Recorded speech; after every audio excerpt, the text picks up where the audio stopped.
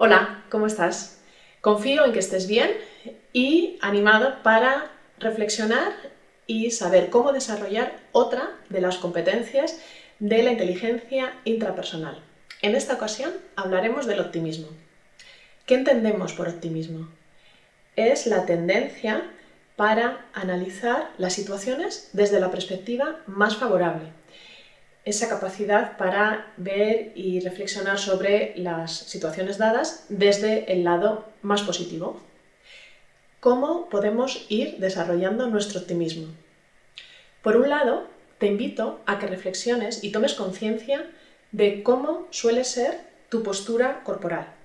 Sabemos que nuestro estado de ánimo se refleja en nuestro cuerpo y en nuestra postura corporal. Pero también está científicamente comprobado que podemos modificar nuestro estado de ánimo modificando nuestra postura corporal.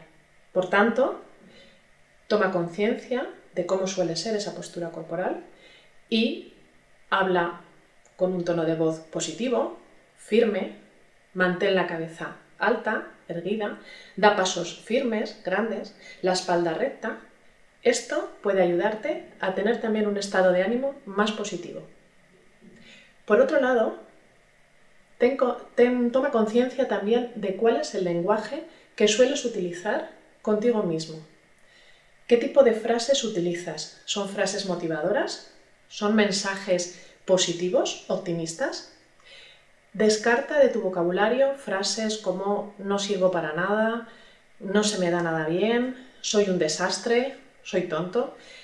Esto, que puede parecer que es una broma, en el cerebro tiene su impacto y su influencia negativa. El cerebro no entiende estas bromas. Por tanto, cambia estas frases, estos mensajes que te dices a ti misma, por mensajes que te den fuerza y que te den impulso para actuar. Soy inteligente, consigo lo que me propongo y puedo hacer las cosas bien. Te invito a que reflexiones sobre todo esto que hemos estado comentando y nos vemos en el siguiente vídeo.